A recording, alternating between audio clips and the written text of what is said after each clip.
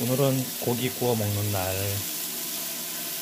집안에서 연기 없이 자작한 푸드로 이용해서 고기 구워 먹어요.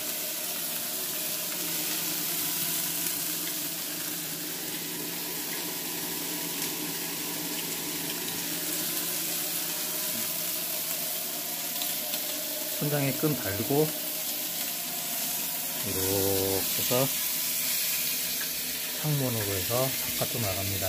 여름엔 못 구워 먹어요. 이웃집한테 피해를 줘서 겨울에만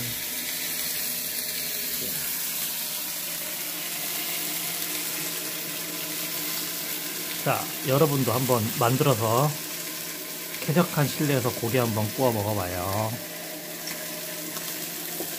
아 요거 파는 땡스 부대찌개에서 찌개 그 판 하나 달라 그러면 됩니다.